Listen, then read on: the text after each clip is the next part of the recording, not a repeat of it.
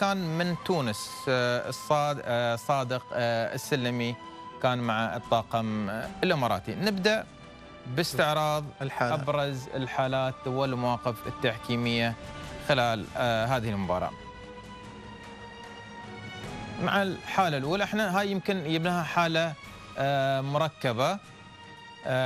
لو آه، نشاهد في البداية كانوا يطالبون فيها. أول شيء خلينا نتكلم جزئية التسلل أو آه، عدم وجود التسلل. آه، هاي طبعا كانت جهة المساعد الأول. لحظة لعب الكرة واحدة من الحالات اللي سهلة. أنا استغربت إن لاعبين آه، المريخ يمكن ثلاث أربع لعيبة كانوا يطالبون بحاله تسلل اللعبة سليمة. تمركز المهاجم آه، لحظة تمرير الكرة من الزميل من الكرة وثاني آخر مدافع كان تمركز سليم.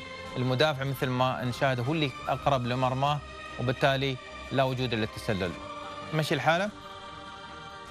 حتى الدخول هني الدخول مع الحارس يصنف آه إيه راحت هاي إيه طبعا هاي هاي مش أنا يمكن الثانية اللي كان فيها اشتراك مع الحارس. واحدة من الحالات المؤثرة آه سواء على سير المباراة أو على نتيجة المباراة آه بعد ذلك اللي هي آه عدم احتساب ركلة جزاء كرة مشتركة بين حارس آه المريخ. المريخ السوداني واتحاد العاصمة اللي كانوا يطالبون فيه نعم. بركله جزاء لاحظ الإهمال آه، أخوي طارق هني القانون يمكن فسر لاحظ هني كان طبعا ما فيها التعمد وما تعمد هالأمور إحنا التعمد مثل ما الكل عارف إنه في جزئية واحدة في القانون اللي هو لمسات اليد في الكرات اللي مثل هاي أنت يجب لما لما جينا التعريف الإهمال في القانون قال إن اللاعب يجب آه إن آه في حالة إن ما ظهر لم يظهر عدم انتباه أو مراعاة عند القيام بالمنافسة أو التصرف بدون حذر.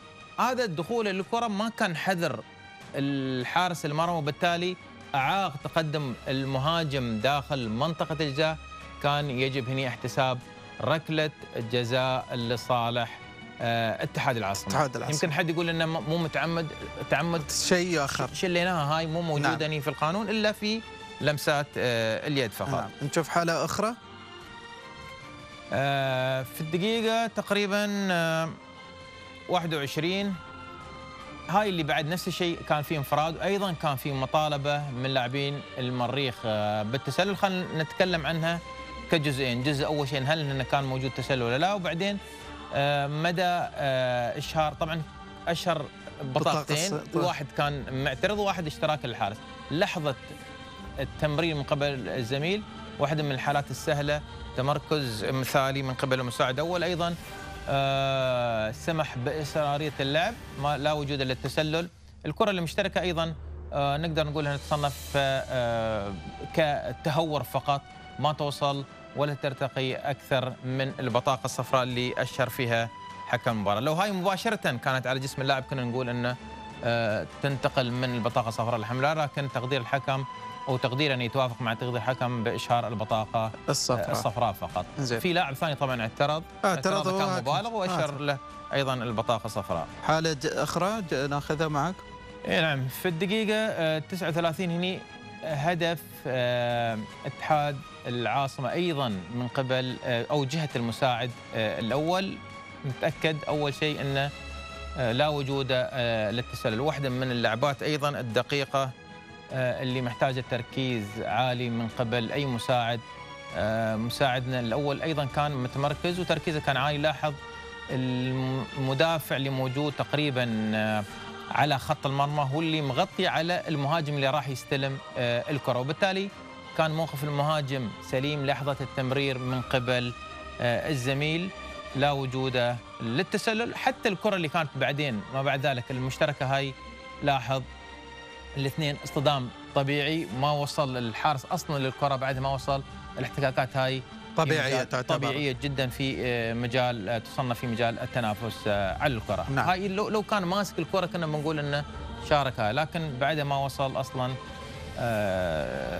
هذه لاستلام كرة. هذه الحالة. بالضبط. أيضا لاحظ هني تقريبا أربع خمس لاعبين كان يطالبون بركله جزاء. أنا هني بس النقطة والملاحظة الحكم ال- الأخطاء اللي أنت تحسبها يجب ما تصنف أخطاء داخل المنطقة تختلف عن خارج المنطقة، أنت طول ما أنك تحتسب أخطاء خارج المنطقة يجب أن إذا حدثت داخل المنطقة يجب تحسبها، دائما إحنا نتكلم لاحظ ال- المهاجم أو أي لاعب باستخدام اليد في الوجه هاي كلها مخالفة مع البطاقة الصفراء، أعاق لاحظ الكرة لو تجيب لي إياها في اللونج حتى بشكل أوضح لو الصورة الأصلية الكرة أصلا بعدها ما وصلت في في في متناول أو أو تنافس على الكرة. يعني ضربة جزاء. طبعا ركلة جزاء هذه لاحظ. لاحظ تصرف ال- المدافع. الكرة بعدها ما وصلت. شو سوى؟ كيف عاق؟ لاحظ استخدم إيده وعاق تقدم المهاجم و- أو الوصول للكرة. نعم. وبالتالي كان يجب احتساب ركلة جزاء ثانية لصالح اتحاد آه، العاصمة الجزائري. حالة أخرى؟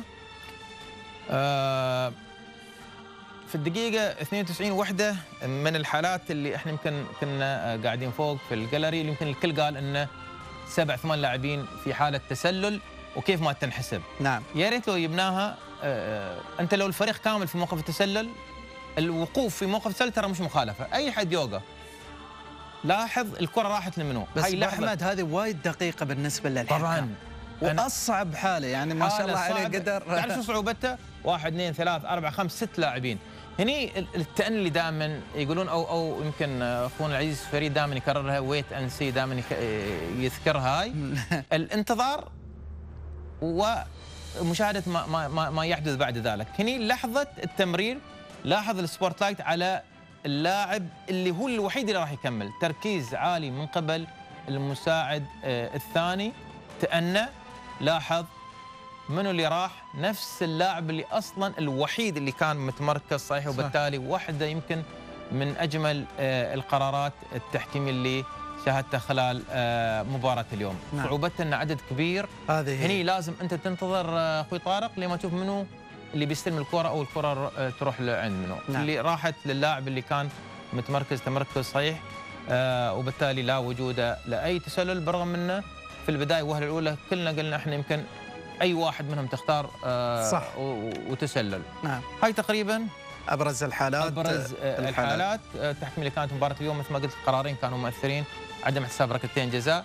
والنقطة أيضا يمكن الإيجابية للحكم احتسابه للوقت بدل الضايع كان دقيق جدا. الحارس تقريبا آه، حال السقوطه حارس مرخي كان تقريبا أخذ ثلاث دقائق ضاف عليهم أربع دقائق سبع دقائق كانوا تقريبا يعني 100% الوقت اللي يستحق احتساب له آه، بدل الضايع نعم. طبعا